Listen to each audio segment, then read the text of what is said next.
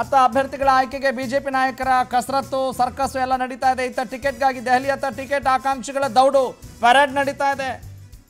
ಇಲ್ಲಿ ಪುತ್ರ ಅರುಣ್ಗೆ ಟಿಕೆಟ್ ಕೊಡಿಸೋಕೆ ಸೋಮಣ್ಣ ಕಸರತ್ತು ನಡೆಸ್ತಾ ಇದ್ದಾರೆ. ವಿ ಸೋಮಣ್ಣ, ಕಾರವಾರ ಟಿಕೆಟ್ಗಾಗಿ ಆನಂದ್ ಅಸ್ನೋಟಿಕರ್ ಲಾಬಿ ನಡೆಸ್ತಾ ಇದ್ದಾರೆ. ಈ ಲಾಬಿ ನಿನ್ನೆ ಮೊನ್ನೆದಲ್ಲ ಇದು. ಬಹಳಷ್ಟು ದಿನಗಳಿಂದ ನಡೀತಾ ಇರುತ್ತೆ. ಮೊನ್ನೆ ದೆಹಲಿಯಲ್ಲಿ ಬಿ ಭೇಟಿ ಮಾಡಿದ್ರು ಪ್ರಮೋದ್ ಮಧುರಾಜ್. ಅತ್ತ ಅಭ್ಯರ್ಥಿಗಳ ಆಯ್ಕೆಗೆ ಬಿಜೆಪಿ ನಾಯಕರ ಸರ್ಕಸ್.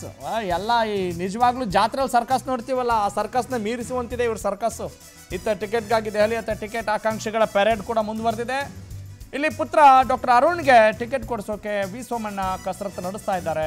ಕಾರವಾರ ಟಿಕೆಟ್ಗಾಗಿ ಆನಂದ್ ಅಸ್ನೋಟಿಕರ್ ಲಾಬಿ ನಡೆಸ್ತಾ ಇದ್ದಾರೆ. ಈಗಾಗಲೇ ವಿ ಸೋಮಣ್ಣ ಅವರು ಬಹಿರಂಗವಾಗಿ ವಿಜೇಂದ್ರ ಅವರ ವಿರುದ್ಧ ಹರಿಹಾಯ್ದಿದ್ರು. ಯಡಿಯೂರಪ್ಪನವರ ಬಗ್ಗೆ ಒಂದಷ್ಟು ಮಾತನಾಡಿದರು. ಯಡಿಯೂರಪ್ಪ ಅವರ ಮಗ ಅನ್ನೋ ಏಕೈಕ ಕಾರಣಕ್ಕೆ ಅವರಿಗೆ ಇನ್ನಿಲ್ಲದ ಬೆಲೆ ಕೊಡಲಾಗ್ತಾ ಇದೆ, ಮಹತ್ವ ಕೊಡಲಾಗ್ತಾ ಇದೆ, ಪ್ರಾಮುಖ್ಯತೆ ಕೊಡ್ತಾ ಇದ್ದಾರೆ.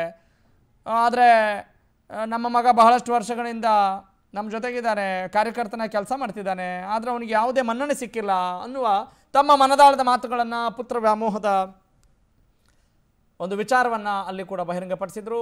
ಈಗ ಪುತ್ರ ಅರುಣ್ಗೆ ಟಿಕೆಟ್ ಕೊಡಿಸೋಕೆ ವಿ ಸೋಮಣ್ಣ ಕಸರತ್ತು ನಡೆಸ್ತಾ ಇದ್ದಾರೆ. ದೆಹಲಿಯತ್ತ ಟಿಕೆಟ್ ಆಕಾಂಕ್ಷಿಗಳ ದೌಡೆ, ದಂಡೆ ಹರಿದು ಹೊರತಾ ಇದೆ, ದೌಡಾಯಿಸ್ತಾ ಇದ್ದಾರೆ. ದೆಹಲಿಯತ್ತ ಟಿಕೆಟ್ ಆಕಾಂಕ್ಷಿಗಳು ಪೆರೇಡ್ ಒಂದು ಕಡೆ ಆದರೆ, ಇನ್ನೊಂದು ಕಡೆ ಯಾರಿಗೆಲ್ಲ ಟಿಕೆಟ್ ಸಿಗ್ಬೋದು? ಯಾರಿಗೂ ಪಕ್ಕ ಇಲ್ಲ. ಯಾರಿಗೆ ಟಿಕೆಟ್ ಸಿಗುತ್ತೆ, ಸಿಗಲ್ಲ ಅಂತ ಅವ್ರವ್ರ ಪಕ್ಷದಲ್ಲೇ ಇನ್ನೂ ಕೂಡ ಟಿಕೆಟ್ ಅನೌನ್ಸ್ ಆಗದೆ ಹೊರತು ಗೊತ್ತಾಗ್ತಾ ಇಲ್ಲ. ಹಂಗಿದೆ ಪರಿಸ್ಥಿತಿ. ಬಿ ಎಸ್ ವೈ ಕುಟುಂಬದ ಮೇಲೆ ಮುನಿಸು ಇಲ್ಲಿ ಎದ್ದು ಕಾಣ್ತಾ ಇದೆ.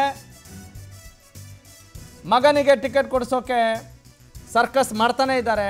ಇನ್ನೂ ತಣ್ಣಗಾಗದ ಸೋಮಣ್ಣ ಜ್ವಾಲಾಗ್ನಿ ಅಂತಲೇ ಹೇಳಬೇಕು. ಮಗನಿಗೆ ಟಿಕೆಟ್ ಕೊಡಿಸೋಕೆ ಕಸರತ್ತು ಮುಂದುವರಿತಾ ಇರೋದನ್ನು ನೋಡಿದರೆ ಬಹಳ ಬಹಳ ಇನ್ನಿಲ್ಲದ ಪ್ರಯತ್ನಗಳನ್ನು ಮಾಡ್ತಾ ಇದ್ದಾರೆ. ಬೇರೆಯವ್ರ ಮಕ್ಕಳಿಗೆ ಟಿಕೆಟ್ ಕೊಟ್ಟರೆ ನನ್ನ ಮಗನಿಗೂ ಕೊಡ್ರಿ ಅಂತ ದೆಹಲಿಯಲ್ಲಿ ವರಿಷ್ಠರಿಗೆ ಸಚಿವ ವಿ ಸೋಮಣ್ಣ ದುಂಬಾಲು ಬಿದ್ದಿದ್ದಾರೆ. ಸೈಲೆಂಟಾಗಿ ಸವಾಲು ಹಾಕಿದ್ದಾರೆ. ಕೇಂದ್ರ ಸಚಿವ ಧರ್ಮೇಂದ್ರ ಪ್ರಧಾನ್ ಭೇಟಿಯಾಗಿದ್ದಾರೆ ವಿ ಸೋಮಣ್ಣ.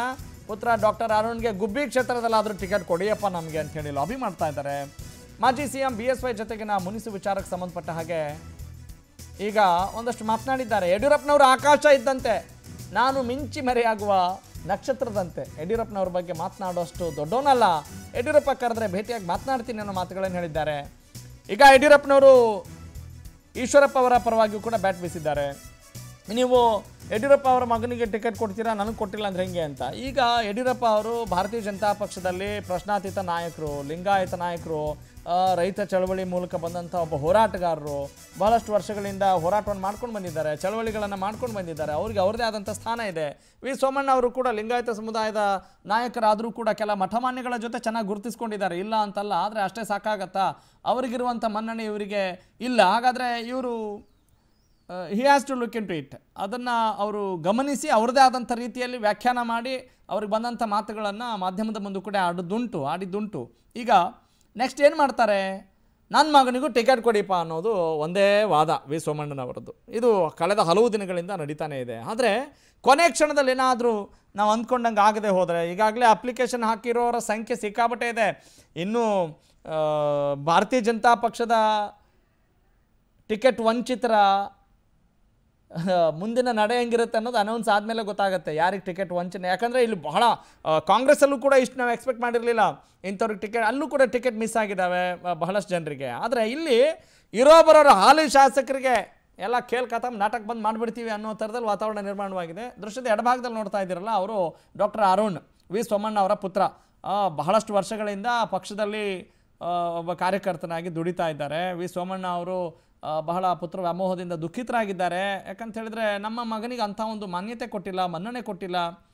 ಈ ಮುಂಚೆ ತುಮಕೂರಿಗೆ ಭೇಟಿ ಕೊಟ್ಟಾಗ ಯಾರು? ಅರುಣ್. ಸಂಸದ ಸ್ಥಾನವಾದರೂ ಸಿಗಲಿ ಅಂಥೇಳಿ, ಅಲ್ಲಾದರೂ ನಮಗೆ ಟಿಕೆಟ್ ಸಿಗಲಿ ಅಂಥೇಳಿ ಒಂದು ಪ್ರಯತ್ನವನ್ನು ಮಾಡಿದರು. ಆದರೆ ಅಲ್ಲಿ ಸರ್ವೆ ಇವರು ಗಮನಿಸಿದರೆ ಅಲ್ಲಿ ಜನರು ಅಲ್ಲಿಯ ಸ್ಥಳೀಯರೇ ಘೇರಾವ್ ಹಾಕಿದ್ದನ್ನು ಕೂಡ ಗಮನಿಸ್ಬೋದು. ಎಲ್ಲಿ? ತುಮಕೂರು ಜನ. ತುಮಕೂರಿನ ಮತದಾರರು. ಆಮೇಲೆ ಬಿ ಜೆ ಪಿ ಪಕ್ಷದಲ್ಲೇ ಆಂತರಿಕ ಮತಗಳು, ಆಂತರಿಕ ಭಿನ್ನಾಭಿಪ್ರಾಯ ಭುಗಿಲೆದಿದ್ದನ್ನು ನಾವೆಲ್ಲ ಗಮನಿಸ್ತಾ ಇದ್ವಿ. ಓಕೆ ಈಗ ಸದ್ಯಕ್ಕೆ ಈ ಬಗ್ಗೆ ಮಾಹಿತಿ ನೀಡ್ತಾರೆ ನನ್ನ ಸಹೋದ್ಯೋಗಿ, ನಮ್ಮ Delhi correspondent Santosh Hosahalli live join ಆಗಿದ್ದಾರೆ. ಸಂತೋಷ್ ಈಗ ಯಾವ್ಯಾವ ವಿಚಾರ ಕೇಳಬೇಕು ಭಾರತೀಯ ಜನತಾ ಪಕ್ಷದಿಂದ ಅನ್ನೋದೇ ಕನ್ಫ್ಯೂಷನ್ ಆಗ್ತದೆ. ಅಷ್ಟು ಗೊಂದಲದ ಗೂಡಾಗಿದೆ. ಹೈ ವೋಲ್ಟೇಜ್ ಮೀಟಿಂಗ್ ನಡೀತಾ ಇದ್ದಾವೆ. ಯಾರ್ಯಾರು ಲಾಬಿ ನಡೆಸ್ತಾ ಇದ್ದಾರೆ ಅನ್ನೋದನ್ನು ನೋಡಿದ್ರೆ ಭಾಳ ಆಶ್ಚರ್ಯ ಆಗುತ್ತೆ. ಈಗ ವಿ ಸೋಮಣ್ಣ ಅವ್ರ ಕಥೆ ಏನು? ವಿ ಸೋಮಣ್ಣ ಅವರು ಡಾಕ್ಟರ್ ಅರುಣ್ ಅವರಿಗೆ ಟಿಕೆಟ್ ಸಿಗುತ್ತೆ ಅನ್ನೋ ವಿಶ್ವಾಸದಲ್ಲಿದ್ದಾರಾ ಟಿಕೆಟ್ ಕೈ ತಪ್ಪೋ ಭೀತಿಯಲ್ಲಿ ಲಾಬಿ ನಡೆಸ್ತಾ ಇದ್ದಾರಾ? What is the status Raghava Surya ಪ್ರಮುಖವಾಗಿ ಏನು ಅಂತ ಹೇಳಿದ್ರೆ ನಡೆಯುತ್ತಿರುವಂತಹ ಬಿಜೆಪಿಯ ಹಿರಿಯ ನಾಯಕರುಗಳಿರ್ಬೋದು ರಾಜ್ಯದ ನಾಯಕರುಗಳು. ಜಂಟಿಯ ಈ ಒಂದು ಸಮಿತಿಯಲ್ಲಿ ನಡೀತಿರುವಂತಹ ಸಭೆ ಸಾಕಷ್ಟು ಮಹತ್ವವನ್ನು ಪಡೆದುಕೊಂಡಿತ್ತು. ಜೊತೆಗೆ ಸಾಕಷ್ಟು ಪಕ್ಷದಲ್ಲಿ ಇರುವಂತಹ ನಾಯಕರುಗಳಲ್ಲಿ ಸಾಕಷ್ಟು ಅಸಮಾಧಾನಗಳು ಈಗಾಗಲೇ ಬಹಿರಂಗಗೊಳ್ತಾ ಇದ್ದಾವೆ. ಈ ನಿಟ್ಟಿನಿಂದಾಗಿ ನೇರವಾಗಿ ಹೈಕಮಾಂಡ್ ಮಟ್ಟದಲ್ಲಿ ಹಿರಿಯ ನಾಯಕರುಗಳು, ಅಂತಹ ಅತೃಪ್ತ ನಾಯಕರುಗಳಿಗೆ ಕರೆ ಮಾಡಿ ದೆಹಲಿಗೆ ಬರುವಂತೆ ಬುಲಾವನ್ನ ಕೊಡ್ತಾ ಇದ್ದಾರೆ. ಅದರಲ್ಲಿ ಸೋಮಣ್ಣ ಕೂಡ ಒಬ್ಬರಾಗಿದ್ದಾರೆ. ಇವತ್ತು ಬೆಳಗ್ಗೆ ಎಂಟು ನಲವತ್ತೈದರ ಆಸ್ಪಾಸಿಗೆ ಧರ್ಮೇಂದ್ರ ಪ್ರಧಾನ್ ಕರ್ನಾಟಕ ಚುನಾವಣಾ ಉಸ್ತುವಾರಿಯನ್ನು ವಹಿಸಿಕೊಂಡಿರುವಂತಹ ಧರ್ಮೇಂದ್ರ ಪ್ರಧಾನ್ ಅವರ ನಿವಾಸಕ್ಕೆ ಭೇಟಿಯನ್ನ ನೀಡಿದ್ದಾರೆ. ಜೊತೆಗೆ ಸುದೀರ್ಘವಾಗಿ ನಲವತ್ತು ನಿಮಿಷಗಳ ಕಾಲ ಮಾತುಕತೆಯನ್ನ ನಡೆಸಿದ್ದಾರೆ. ಅದೇ ಸಮಯಕ್ಕೆ ಅಲ್ಲಿಗೆ ಮುಖ್ಯಮಂತ್ರಿಗಳು ಕೂಡ ಬಸವರಾಜ ಬೊಮ್ಮಾಯಿ ಆಗಮಿಸಿದ್ರು. ಅವರ ಮುಖಾಂತರವೂ ಕೂಡ ಕೆಲವೊಂದಿಷ್ಟು ಸಲಹೆಗಳನ್ನ ಅವರ ಮಗನ ಕುರಿತಾಗಿ. ಯಾಕೆಂತ ಹೇಳಿದ್ರೆ, ಬಿಜೆಪಿಯಲ್ಲಿ ಕೇವಲ ಕುಟುಂಬಕ್ಕೆ ಒಂದೇ ಟಿಕೆಟ್ ಅನ್ನುವಂತಹ ಒಂದು ನಿರ್ಧಾರಗಳನ್ನ, ನಿಯಮಗಳನ್ನ ಈಗಾಗಲೇ ರೂಪಿಸಲಾಗಿದೆ. ಅದು ಬಹುತೇಕ ರಾಜ್ಯಗಳಲ್ಲಿ ಕೂಡ ಯಶಸ್ವಿಯಾಗಿದೆ. ಆ ಮಾನದಂಡಗಳನ್ನ ಕರ್ನಾಟಕದಲ್ಲೂ ಕೂಡ ಈಗಾಗಲೇ ಅಳವಡಿಸುವುದಕ್ಕೆ ಬಿಜೆಪಿ ಮುಂದಾಗಿರುವಂತದ್ದು ಸ್ಪಷ್ಟ. ಈ ನಿಟ್ಟಿನಿಂದಾಗಿ ಸೋಮಣ್ಣ ಅವರು ಸೋಮಣ್ಣ ಜೊತೆಗೆ ಅವರ ಮಗನಿಗೆ, ಅರುಣ್ ಸೋಮಣ್ಣ ಇಬ್ಬರಿಗೂ ಕೂಡ ಟಿಕೆಟ್ ಅನ್ನ ಕೊಡಬೇಕು ಅನ್ನುವಂತ ನಿಟ್ಟಿನಿಂದಾಗಿ ಸಾಕಷ್ಟು ಒತ್ತಡವನ್ನ ಹಾಗೂ ಮತ್ತೊಂದು ಕಡೆ ಮನವಿಯನ್ನ ಮಾಡ್ತಾ ಇರುವಂತದನ್ನ ದೆಹಲಿಯಲ್ಲಿ. ಒಂದು ರೀತಿ ಸಭೆಗಳು ನಡೀತಾ ಇದೆ. ಮತ್ತೊಂದು ಕಡೆ ಅವರು ಟಿಕೆಟ್ಗಾಗಿ ಕಸರತ್ತುಗಳನ್ನ ಸೋಮಣ್ಣ ನಡೆಸ್ತಾ ಇರುವಂತದ್ದು ಸ್ಪಷ್ಟವಾಗ್ತಿದೆ. ಬಹುತೇಕ ತುಮರ್, ತುಮಕೂರು ಜಿಲ್ಲೆಯ ಆಸುಪಾಸಿನಲ್ಲಿ, ಗುಬ್ಬಿಯಲ್ಲಿ ಅವರು ಸಾಕಷ್ಟು ಪ್ರಯತ್ನಗಳನ್ನ ಮಾಡ್ತಾ ಇದ್ದಾರೆ. ಈ ಒಂದು ಕ್ಷೇತ್ರದಿಂದ ನನ್ನ ಮಗನಿಗೆ ಟಿಕೆಟ್ ಅನ್ನ ಕೊಡಿ ಅಂತ. ಈ ಹಿಂದೆ ಕೂಡ ಬಿಜೆಪಿ ಪಕ್ಷಕ್ಕೆ ನಾನು ಸೇರಿದ್ದು ಕೂಡ ಕೆಲವೊಂದಿಷ್ಟು ಷರತ್ತುಗಳನ್ನ ಹಾಕಿ ಪಕ್ಷಕ್ಕೆ ಸೇರ್ಪಡೆಗೊಂಡಿದ್ದೆ. ಆದ್ರೆ ಅದ್ಯಾವುದು ಕೂಡ ಇವತ್ತಿನವರೆಗೆ ಈಡೇರಿಲ್ಲ ಅನ್ನುವಂತ ಅಳಲನ್ನ ತೋಡ್ಕೊಳ್ತಾ ಇದ್ದಾರೆ ಪದೇ ಪದೇ. ಇದು ಮೂರನೇ ಬಾರಿಗೆ ದೆಹಲಿ ಮಟ್ಟದಲ್ಲಿ ಅವರು ಬೇಸರವನ್ನ ತೋಡ್ಕೊಳ್ತಾ ಇರುವಂತದ್ದು ಕೂಡ ಇಲ್ಲಿ ಗಮನಿಸಬೇಕಾಗುತ್ತೆ ಕೆಲವೇ ದಿನಗಳಲ್ಲಿ ನಾಮಪತ್ರ ಸಲ್ಲಿಕೆಗೆ ಏಳೆಂಟು ದಿನಗಳ ಹತ್ತು ದಿನಗಳು ಮಾತ್ರ ಬಾಕಿ ಉಳಿದಿದೆ. ಆದ್ರೆ ಸೋಮಣ್ಣ ಅವರ ನಿಲುವುಗಳು ಮಾತ್ರ ಯಾವುದು ಬದಲಾಗ್ತಾ ಇಲ್ಲ. ಏಕ ನಿರ್ಧಾರಗಳನ್ನ ಮಾತ್ರ ತೆಗೆದುಕೊಳ್ತಾ ಇದ್ದಾರೆ. ಆದ್ರೆ ಹಿಂದೆ ಪಕ್ಷಕ್ಕೆ ಬರಬೇಕಾದ್ರೂ ಕೂಡ ಅವರು ಯಡಿಯೂರಪ್ಪನ ಜೊತೆ ಇದ್ದಂತಹ ಕೆಲವೊಂದಿಷ್ಟು ವೈಮನಸ್ಸುಗಳೆಲ್ಲವನ್ನು ಕೂಡ ಬದಿಗೆ ಸರಿಸಿ ಅವರು ಸ್ಪಷ್ಟವಾಗಿ ಒಂದು ಜಿಲ್ಲೆಯ ಒಂದು ಉಸ್ತುವಾರಿಯನ್ನ ನನಗೆ ವಹಿಸಿಕೊಡಿ ಖಂಡಿತವಾಗಿ ಅಭಿವೃದ್ಧಿಯನ್ನ ಮಾಡಿ ತೋರಿಸ್ತೇನೆ ಪಕ್ಷವನ್ನ ಬೆಳೆಸ್ತೇನೆ ಅನ್ನುವಂತಹ ಷರತ್ತುಗಳನ್ನ ಹಾಕಿದ್ರು. ಆದ್ರೆ ಆ ಯಾವುದೇ ರೀತಿಯಾದಂತಹ ಒಂದು ಸ್ಪಷ್ಟ ಅವರಿಗೆ ಒಂದು ನೇತೃತ್ವವನ್ನ ಒಂದು ಜಿಲ್ಲೆಯನ್ನ ಇದುವರೆಗೂ ಕೂಡ ವಹಿಸ್ತಾ ಇರುವಂತದ್ದು ಬೇಸರವನ್ನ ತಂದಿದೆ. ಈ ನಿಟ್ಟಿನಿಂದಾಗಿ ಇದು ಕೊನೆಯ ಬಾರಿ ನಾನು ಚುನಾವಣೆಯನ್ನ ಎದುರಿಸ್ತಾ ಇದ್ದೇನೆ. ನನಗೆ ಹಾಗೂ ನನ್ನ ಕುಟುಂಬದ ಒಬ್ಬ ಸದಸ್ಯನಿಗೆ ತಾವು ಅವಕಾಶವನ್ನ ಮಾಡಿಕೊಡಿ ಅನ್ನುವಂತ ಒಂದು ಮನವಿಯನ್ನ ದೆಹಲಿ ಮಟ್ಟದಲ್ಲಿ ಮುಖ್ಯಮಂತ್ರಿಗಳು ಧರ್ಮೇಂದ್ರ ಪ್ರಧಾನ್ ಹಾಗೂ ಯಡಿಯೂರಪ್ಪನವರು ಕೂಡ ಅವರಿಗೆ ದೂರವಾಣಿ ಮುಖಾಂತರವಾಗಿ ಸಲಹೆಯನ್ನು ಕೊಡಿಸುವಂತ ಪ್ರಯತ್ನವನ್ನ ಇದೀಗ ಸೋಮಣ್ಣವರು ದೆಹಲಿ ಮಟ್ಟದಲ್ಲಿ ಮಾಡ್ತಾ ಇರುವಂತದ್ದನ್ನ